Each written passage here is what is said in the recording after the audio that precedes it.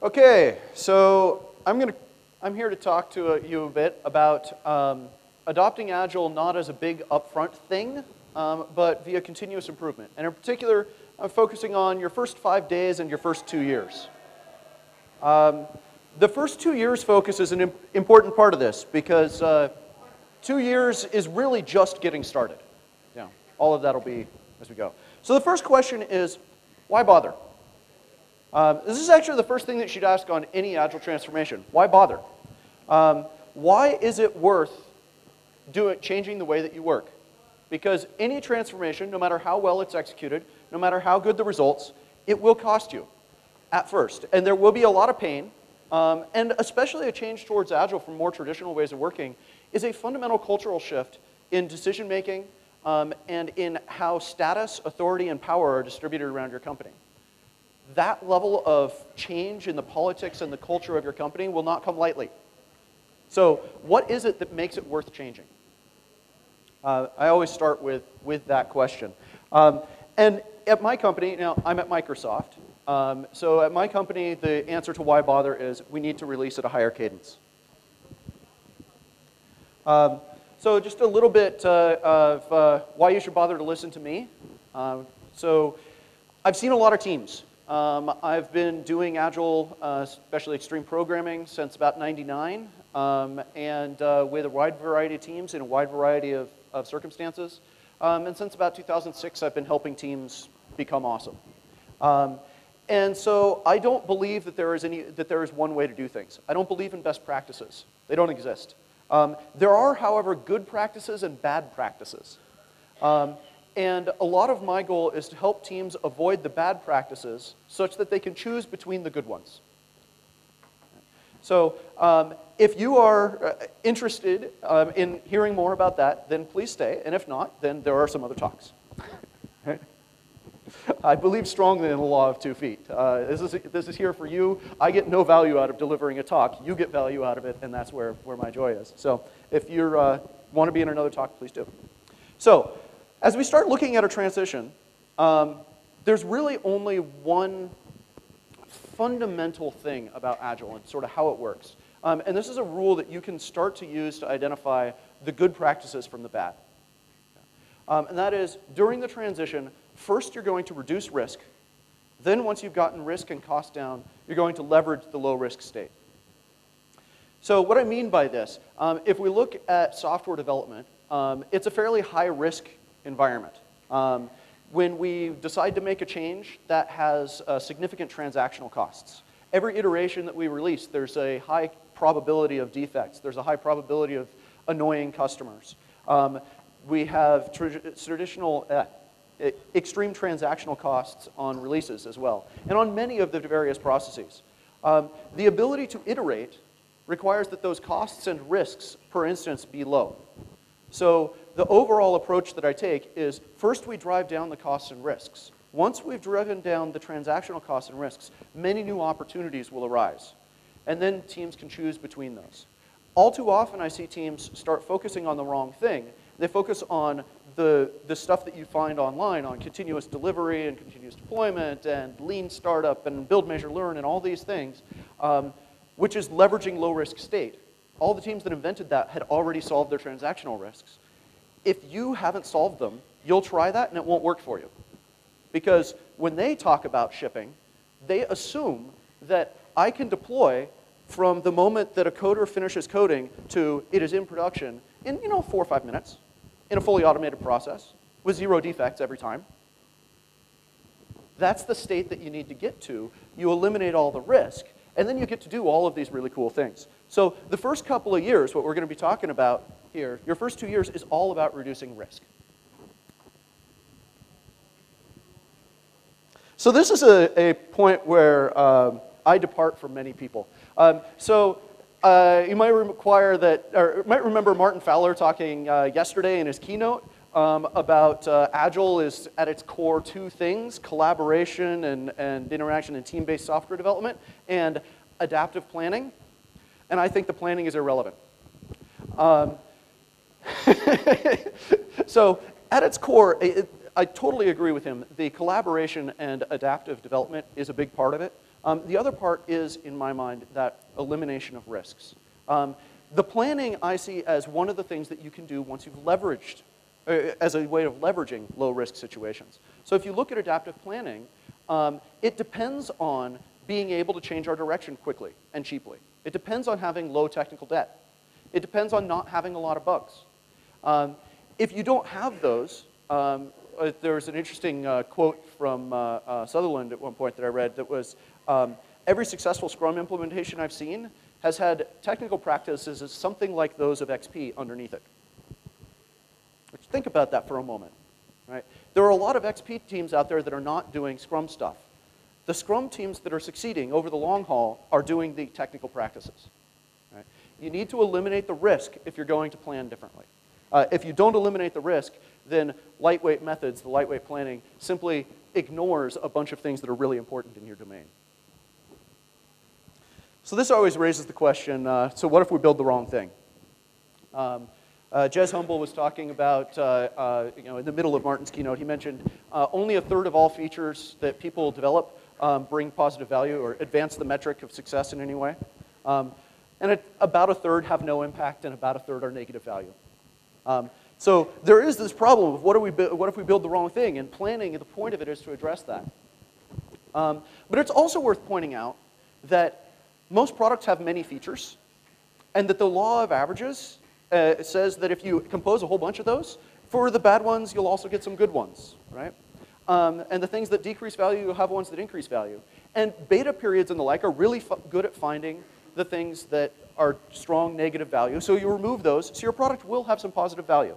Not as much as if you were able to, to have a really good process of only finding the good things, but your product will have positive value. On the other hand, depending on which report you look at, only something like a third of projects actually make it to market with the features they were intended on the market uh, at the time that the market window opportunity is there. So your, big, your biggest risk in software development is not that you'll build the wrong thing, it's that you will fail to build. Right? You won't get the thing out. What you will get out will be missing the key competitive features that you needed, um, or it will miss the market window. So that's why our, our focus on risk says that we need to focus on execution. That'll be our thing. So I alluded to this earlier. Any agile transition, there is one required pain.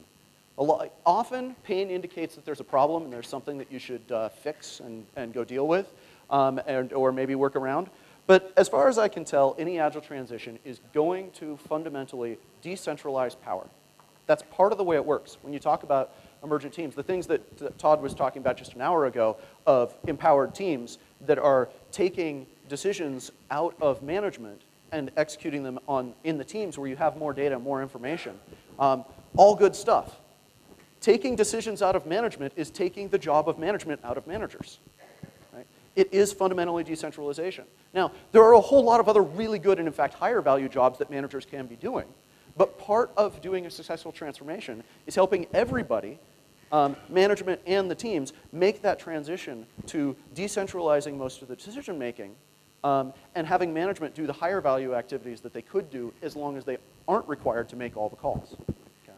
So often you'll see as teams go through agile transformations, they shift from organizational structures that are hierarchical in nature and very block, and where all the work is done via the org chart, into things that you go all the way to the extreme of Yammer or Valve or one of those companies, and it's, they describe it as, we are a distributed data processing network. We have people that come together and they process information and they exchange information with each other and decisions get made and magic happens. Um, and the job of management and reporting structures is to ensure that that culture continues to exist. It's a very different way to talk about your business, right? it's a very different organization structure. So, um, talk a little bit about recipes. This is how I execute transformations uh, currently. So, uh, at Microsoft, my job is I'm in engineering excellence. I help teams change. Um, uh, typically, about a 75 to 150 person team at a time, do a bunch of those. So, the first step in any transformation, um, and this is the step that I do um, while we're still in an authoritarian based decision-making structure, which much of my company is, and many companies are, um, is to create aligned teams. Um, now, these are, people talking about as cross-functional teams or single assignment teams. The important thing about these is these are teams which have everything necessary in order to deliver business value, all the roles that are, are necessary, um, and where every individual human is on exactly one team. The most important trait of an aligned team is in monkey brain space. It is that I, as a human, identify with us as a, as a set of people. Right? Has nothing to do with our product, has nothing to do with our reporting structure. It's if I want to get improvement in the way that we work, I want to have people help me improve and I want to help them improve, I need to have a set of people. Right? So that is the key thing. Um, if I am thinking of myself as a member of three or four teams or as a local team and a team of 100, then I won't have that core identity that allows me to, to really make my improvements. So that's the first thing. We need aligned teams, and those teams need to be small enough that we can actually make changes and improvements and make decisions fairly easily. Eight is perfect. Um, it seems to work very well. Um, but go around that and it still works okay. Find as teams get up to 12 or, or, uh, or 16 or in that sort of range, they tend to naturally break into sub-teams anyway because people seem to cluster pretty well at the 6 and 8 size. And so if they find themselves in 12, they'll form two teams of 6. so once we've got teams, next step, drive out risk. This is mostly what we're going to be talking about here. So this is typically a couple of years. So aligned teams, if I'm in an authoritarian uh, uh, uh, place, um, once I can, all I have to do is convince one person, medium high level manager, that it is worth doing, and they can just make it happen. You know, the nice things about hierarchies is they're very vulnerable. Um, any one person on a whim can change the company direction, so all I have to do is change one mind, um, and everyone has to follow. Um, so I'll use that to get, get aligned teams. Driving out risk, on the other hand, happens at the team level. And this takes time because this is actually changing the way that we work. That's all the habit change. So that's, that's where we spend most of our time. Step three, um, real customer involvement. So when I'm driving out risk, I am paying some attention to the customer, but I'm still fundamentally assuming that planning and deciding what we do is based in much the same way that it was before. We've got smart people in our, inside our company. We will listen to them. They will make statements and guesses and opinions on which direction we should go, and we'll go that way. And it works. Um, eventually, we get to uh, the point where we actually have more access to data uh, about what our real customers are doing, and we can really involve the real customers. We can do customer development and build, measure, learn, and all of the and design thinking and all those good things that mean that uh, what we're deciding to build is actually based on direct conversation with the customers. And then the last step, after you've gotten a bunch of those teams, is creating a culture of sustained uh, change company-wide. So um, industry numbers, as far as I've seen, show that uh, roughly over the last 30 years, um, there's been a doubling time on productivity of, in the software industry of about two years, two to two and a half years. So 35% year over year growth in productivity every single year. That is a viciously fast productivity rate. That whatever you are doing today, in two years you will be able to do it in half as many lines of code. Whatever you are outsourcing, in two years it will cost half as much. And that's average.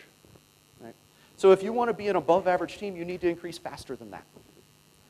You don't get this by making a change and then being in a new state and sitting in that new state for a while. The only stable state is our competitors are growing faster than we are. Um, so we have to build in cultures that sustain continuous change and improvement, and that's where you really get to company-wide agility. So We've seen a lot about the uh, path through Agile fluency, the fluency model of, of, Agile. This is the same thing, slightly restated. So um, in the original document, they talk about, uh, number one, um, uh, talk about customer value um, stories. The point of that from my, in my perspective, and you know, this is my personal perspective, so take it as such, um, is that that's where a lot of the alignment for getting aligned teams comes from. I find just stories and talking about value isn't enough. I also need identity, that set of humans. And stories are not necessarily required. I've had a number of successes with Agile Waterfall, for example, um, which is completely waterfall planning, um, executed in uh, basically by XP teams with simultaneous phases. Um, and they don't talk about stories and that sort of thing. But there's great alignment on what we're doing, and there are teams that are focused and come together. Um, and then driving out risk is level two uh, execution. Um, real customer involvement is obviously uh, uh, directly across and so forth. So as I'm doing my transition, um, I look at what a team needs in terms of fluency model, and I find that pretty much all teams need level two or level three agility. Um, there are a small number that can get by with, with one star, with level one. Um, if you uh, have a product that uh, basically, if you don't care about technical debt, then level one is good for you. This is the case for people who are creating um, mobile apps. A mobile app is only going to sell in the marketplace for five or six weeks. Um, and then there will be no sales on it after that, um, unless you happen to be Angry Birds, right? Um, so there's no point in worrying about technical debt. Your job is to get it out to market and then throw it away and build the next one. Level one agility is perfect for you. You do not need to make the investments to get to level two. If you are in any other business, you probably need at least level two. So now let's talk about how you get those steps. First thing is, I find a lot of people focus on what you can do, what practices you're executing, maybe how well you're executing them, something like that. That focus often leads people astray. The real question is, how fluently can you do that? And this is what the, the fluency model is really talking about. Um, if all I can speak of a language is 50 words, but when I need to, I can immediately pull the right word, no matter what my circumstance, no matter what's going, to happen, going on. I can communicate. Now, not well, but I can survive being in a place where that's the only language that is spoken. Right? That has value. If I can do, if I can write well-formed grammatical sentences talking about a thing, but I can only do that by sitting there with a dictionary and carefully writing um, and thinking it out, then when I'm in a train station trying to get to the restroom, I have no options. Right? I can't actually communicate. The results that you get are based not off of your proficiency and your capability, they're based off your fluency. If I'm working with code um, and I've got uh, a team that does pair programming and TDD and refactoring, it does all those well, but it only does those well, you know, when it's fairly easy to get it under test and when the, you know, when, it, when things are going well. And when the system goes down and things are on fire, they revert to, to their normal behavior. Then over time, the code will look mostly like the code that they write when things are on fire. Because making those messes is so much cheaper than cleaning those messes up. Right? So if you want to get the good result, what matters is how do you behave when you're under stress? Right? And that's your fluency. We find the teams that um, they might or might not pair, but when the live site goes down, they always come together and they pair a mob. Right? The ones that revert to higher discipline when under stress those are the ones that get really good results in clean behavior. So I'm going to propose a set of degrees of fluency. We've got a lot of charts like the Agile Fluency Model that talk about degrees of proficiency and that say get to fluency within a state, but don't talk about what that might look like. So the first degree of fluency uh, in Agile stuff, um, relabel existing practices. We see this all the time.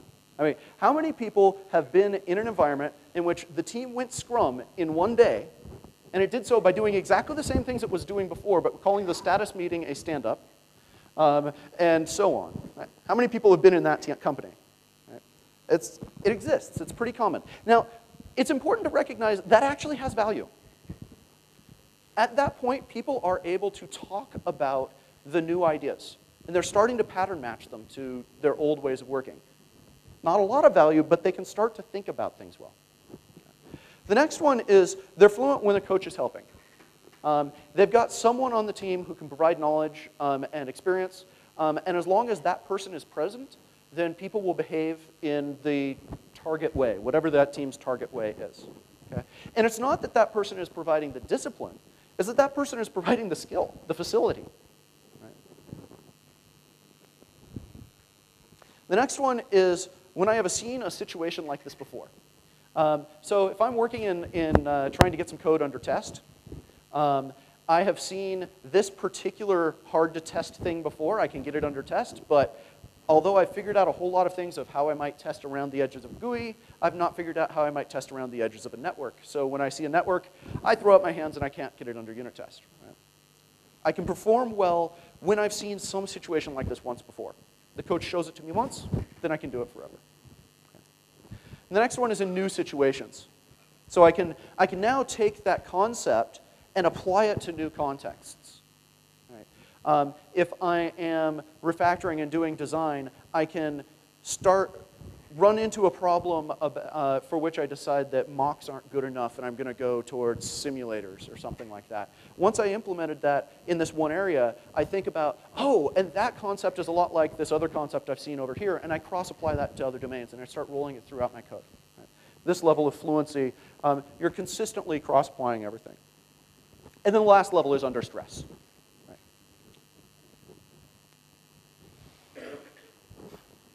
So let's talk about risk. Where does risk come from?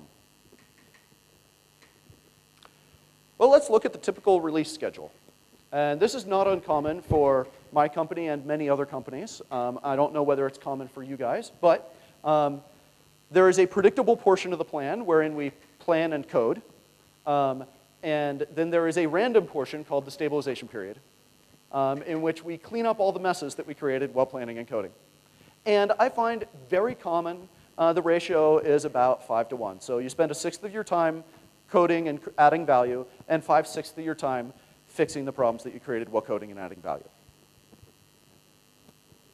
That's pretty typical. It varies a little bit. I've seen teams as high as, you know, like 30% of their time adding value. So where's stabilization come from?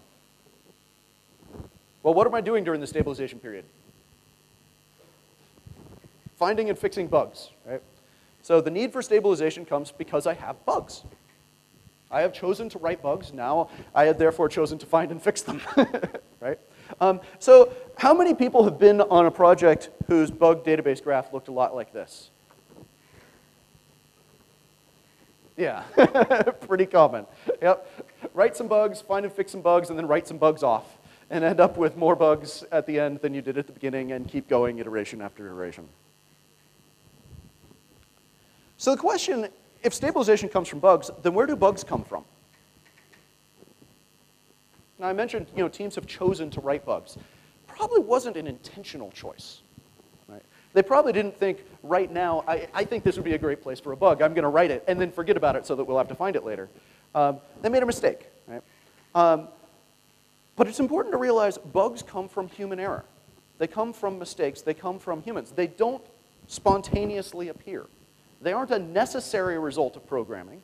They're a result of programming the way we program. And then we can look at, so what are the circumstances under which humans make mistakes?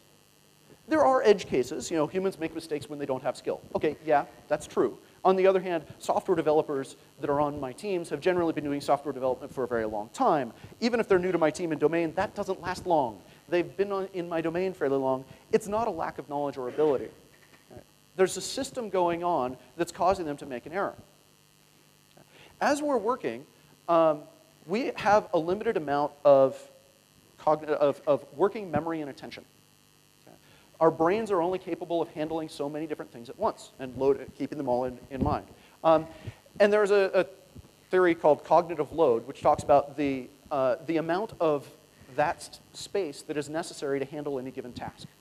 As cognitive load increases, then our, our facility with doing the task decreases. And in particular, when cognitive load gets high enough that it exceeds our working capacity, which is actually fairly low, um, then we now start making decisions based on a subset of the data. We start deciding how to change its code based on only some partial and local knowledge. We make mistakes. Right? So bugs come from excessive cognitive load. What in our system makes things hard to think about. Some thoughts? What are some things that make things hard to think about, hard to reason over in our systems? Size, absolutely. I, I work on it with a couple of teams who have 250 million line of code projects. It's very hard to think of all of that. Yeah. What's another one? What was that? Date, uh, date, what was that? Data conditions, yes.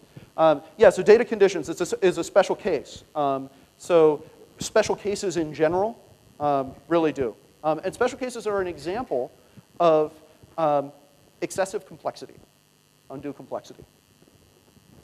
Okay? Programming in silos. Yeah, lack of communication problems, certainly. Um, those don't necessarily cause excessive cognitive load while I'm working, but they make it so that I don't have easy flow of information and, and they'll get a similar result. Yeah. Context switching. Yeah. Yeah. Again, it, that one doesn't affect the cognitive load required to work with the project, but it requires, it alters how much you have to bring to it, right? Um, so it causes bugs. Yeah. Um,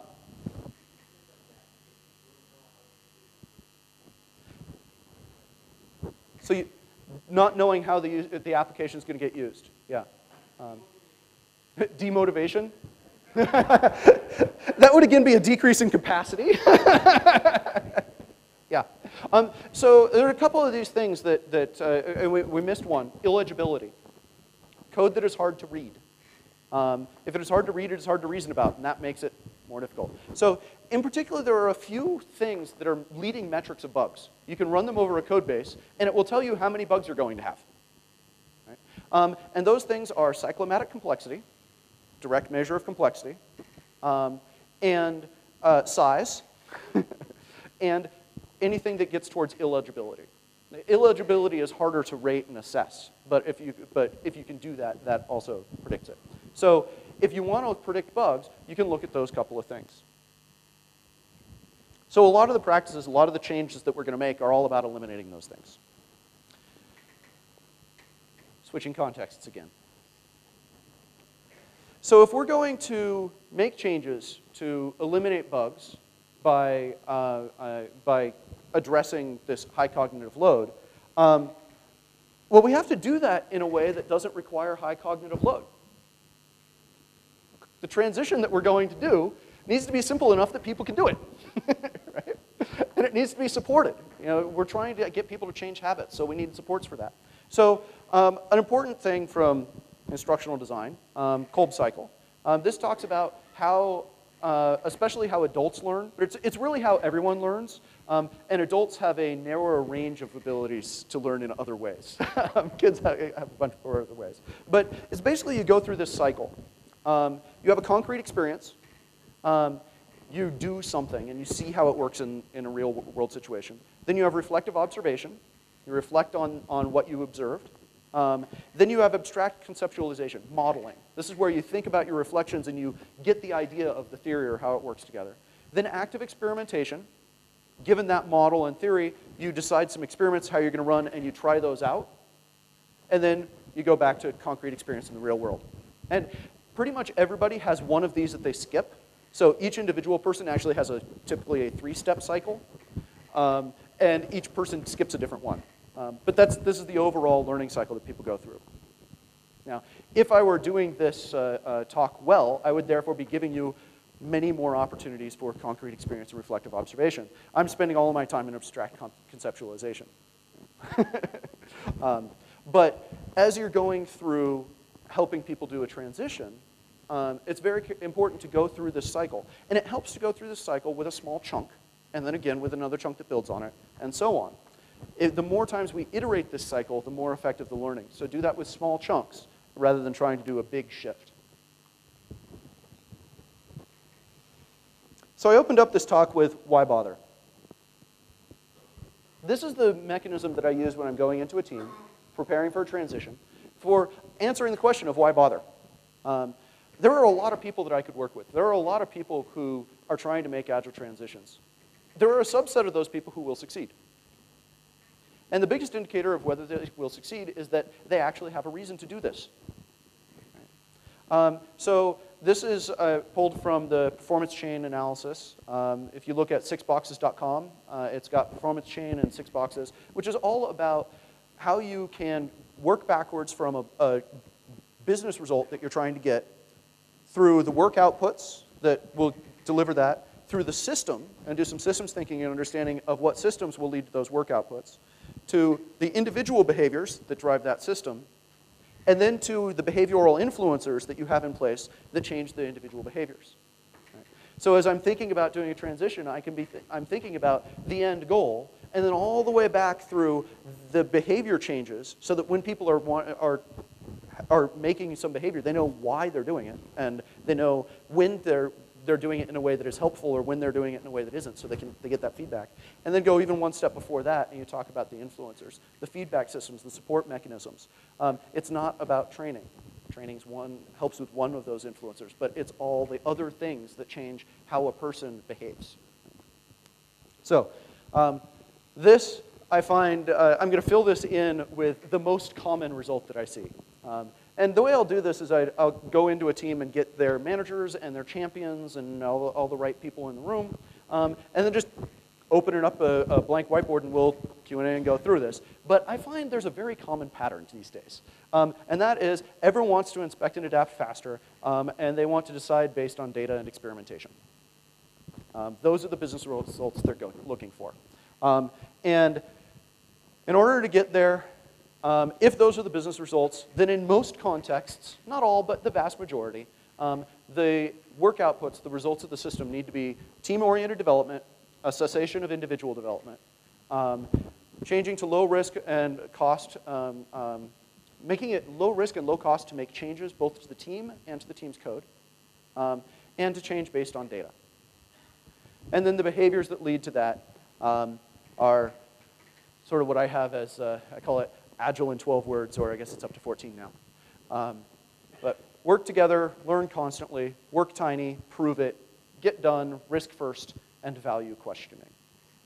Now, as I look at this set, this set of behaviors is fundamentally, um, and, and, the, and the work outputs, is fundamentally based on two things done over and over and very, very well. And so, in a sense, I could talk about Agile is an expression of two practices. I don't know whether I will talk about it that way, but I could. Um, so it really is, if you are refactoring, refactoring mercilessly, taking a problem not as a big thing, but making small steps that are known not to make the problem worse, you can prove don't make it worse, um, and then being able to take the next one and the next one, and refactor and change your mind all the time. Um, and then running experiments with measures and paying attention to those experiments, intentional experimentation. So let's talk about the chunks. If I'm going to refactor a team, which is, is how I talk about it, culture, le refactoring legacy cultures is a, is a good thing, um, then uh, the first chunk is I need to make a team. So I mentioned that here I take advantage of the authority structure. Um, and uh, that's why I call this the, you know, it's the real first chunk, but it's not the first chunk that most people see. Uh, because the time, by the time that most people are involved, this one's already completed. Right? So in making a team, get the right people, get uh, um, where the right people is far more flexible than a lot of people think, but you need to have whatever capabilities are going to be necessary to succeed, at least one person representing them, or at least someone who wants to learn that. um, and you need to have um, a reasonable number of people, and everyone needs to be on exactly one team. You have to have identity. So first chunk, make a good team. Recognize that change will happen side in during your transition. Okay? So um, change does not happen bottom up, and it does not happen top down. Neither of those mechanisms work. Um, when you try and do change from the bottom up, then you get good results because the people at the bottom of the hierarchy have all the data, they, make all, uh, they can make decisions, they have the knowledge, they take action, and it works great locally, and it threatens the people on top and confuses the people on top, and it doesn't have an ability to spread, and eventually it gets isolated and killed. When you do it from the top down, the people who are making the decisions and are driving the change don't have access to the real information on the ground. They therefore end up making decisions which aren't, don't match what's really going on. Um, and so the people at the bottom see them as clueless. Um, they're informationless, not clueless, right? But they get seen as clueless. Um, and so you develop resistance at the bottom, and the change fails. Right. Um, people only change their job based off of someone else who's doing their job. You know, if I am a lead, I will not change the way that I lead people based off of what my manager says, nor based off of what an in individual contributor says. But I will look and see another lead doing the job well, and I will follow him. Right? And the same is true for all levels of the hierarchy. So what we're trying to do is allow every person to learn how to do their job better from another person who does their job better. Right? Um, so from the top, I need to create a zone of safety. From the top, I establish culture, help establish framing. It's not vision, it's framing, helping people understand a system. Right? From the bottom, um, incidental risks and costs are determined from the bottom. Data comes from the bottom, knowledge, and especially, and most decisions are made at the bottom, even in centralized systems. There are just so many more decisions than you could handle through the central system that most of them end up getting made at the bottom. And then behavior changes come from the side. So as I'm setting up my teams, this is what I'm thinking about. And I'm helping the managers understand their role, and I'm helping the people on the teams understand their role, and making sure that I will have people that can spread that behavior within each level all the way across. This means I end up with a couple of roles. This is what a typical transformation team or whatever looks like. Now, I sit in a central organization, so I don't own any of the transformations that happen. Um, the teams that are being transformed own their transformation. There'll be 80 of them or 150 of them or whatever. They're going to decide whether they transition. They're going to decide how they transition. And they're going to determine whether it works or not. Um, all I can do is sit from a side and provide experience and guidance. So the most important role is doer. This is basically everyone on their team. People who make decisions, people who take actions, and people who assess whether things work. It's managers, it's ICs, it's everybody. Um, and so in the end, with a successful agile transition, this will be the entire role structure. We'll all be doers. But early on in the transition, we're not there yet. So we need supporting roles. Okay. So the first supporting role is champion. Um, the job of a champion is to represent an idea. Um, maybe a couple of ideas. So I might have a champion for refactoring. You know, they really believe in it, they have a fair amount of knowledge about it, and they want to bring that idea to the team. I might have a champion for our code is hard to deal with. Um, now, many people will call these resistors. They're the ones who say that Agile can't possibly work here. They aren't resistors. They're champions. They're champions of a problem statement. They're champions of the way things are currently done. And the key trait of a champion is that they are listened to, they are understood, and that they are able to grasp something, some complex idea and help the other people on the team realize the value of it. And it is very important. The champion, the, the resistors, the champions of the old way, are very important members of your transition because they're going to provide all the context and nuance and knowledge that will help you adjust what you're doing. Right? So you don't have any resistors, you just have more champions than you planned on. So the next role is coach. Um, when I'm talking about a coach for a transition, um, I'm meaning the person who facilitates team making, okay? helps people adapt to change. This is a person with high emotional intelligence, the higher the better. Um, this is a, a person who um, fundamentally gets human system dynamics um, and is able to help people adapt to change and work through what's going on. Third support pillar is servant leader. So typically, these are managers. Not always, but almost all managers become servant leaders, and almost all servant leaders were managers. Um, so a servant leader, their job is to provide safety to experiment um, and to support a culture of continuous change. Uh, so these people don't solve problems. They make you able to solve problems. They create that culture. Um, and they are different from champions and coaches in that champions are trying to promote an idea and help you build that. And coaches are very carefully focusing on a team. And servant leaders are looking at the overall culture and community and trying to help the whole process go forward smoothly as things are changing. And then there's my role, uh, my, my team, um, gurus, and we try and replace ourselves with community. So teams that have done this before, because they, all of the, the doers from those teams become part of the community and support the next couple of people. Um, and then we also have some people who, who the job of this is provide experience and alternatives. And in particular, we need to prevent best practice thinking.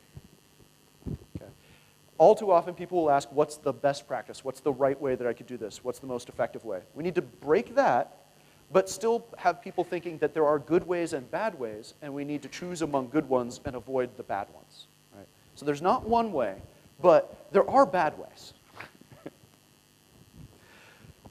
and then, as I mentioned at the, at the uh, beginning of this slide, um, when I'm done, everyone will be a doer, which means the job, part of the job function of all the other supporting roles is to work themselves out of a job. Once the transition is successful, you will no longer have this role. you will just be a doer.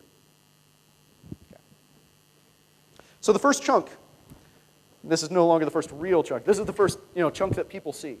Um, and this is to be able to make a change in existing legacy code without adding a bug.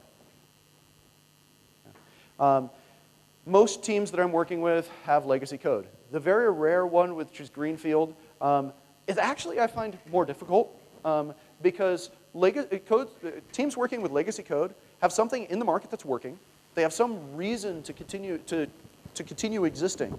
Um, and they have tons of examples sitting right there in front of them of painful things that didn't work well. They also probably have several examples of things that did work well, which makes it really easy to get concrete experience and learn. Right? You can take one of those painful ones and show, here's how we can make a change, and hey, everything's better. So the first chunk that we'll do is how to make one change in legacy code without introducing a bug. And that is all about refactoring.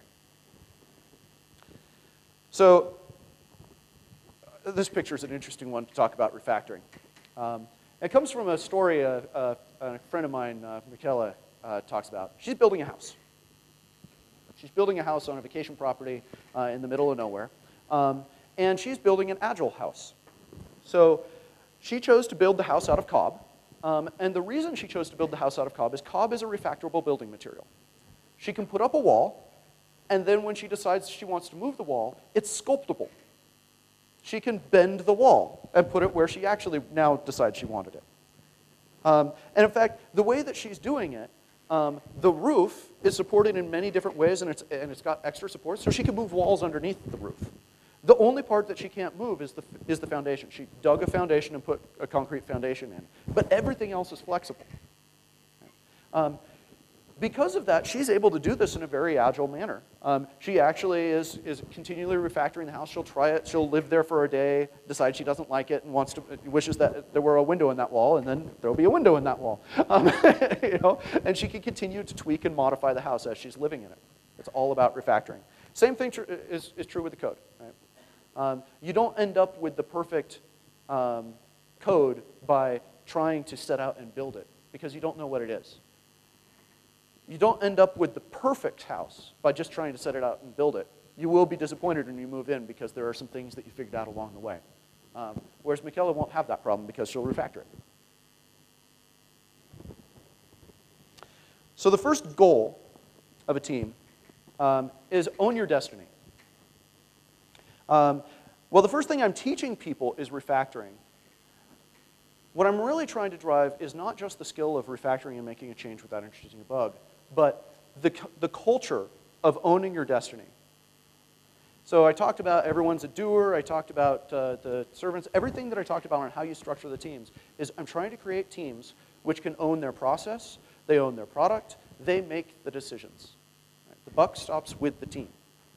Other people inform the team, the team makes the call. Right? So that's the real culture there I'm going after. You own your destiny. And the first product, and so I get that by having the team refactor itself all the time. Okay. The first product goal is great names. Um, there are all of the principles of good design, and of course, four principles of simple design. Um, the second one of those is great names, and I find that one is a very easy one to teach, and in working with legacy code, it's the most important one. Right? It directly solves illegibility. Illegibility is one of the causes of bugs and risk. So it's a great opportunity for an early win. I can make code easier to modify just by getting great names in there. Right? So um, I teach the simple refactorings, uh, extract method, introduce parameter, uh, introduce variable, and rename. Those are the only four you need in order to make great names. It's very easy to learn those four things. um, and then we can talk about naming and help teams get good names. Just doing that will drive down code, uh, bugs in the code. Right? And so you'll start seeing results quickly. So that's the first product goal, get great names. In both of these, I'm talking about chunking and early value. Right? I want the team to own its destiny. I'm not saying what they're going to do with that. Right? They're not going to get great results necessarily because they're not going to go the right way to go. But they are starting to take over the decision making. We're starting to move up into that top right, right quadrant in, in Todd Little's talk. Right? Um, and with the code, I'm starting to get great names, and, and illegibility is fading, and bugs are starting to go down. We're starting to see a number of early wins. Um, and when I'm working with a team, we actually, these are the things that I put measures around. These are the KPIs for the transition. Um, and by two weeks in, we're seeing notable changes.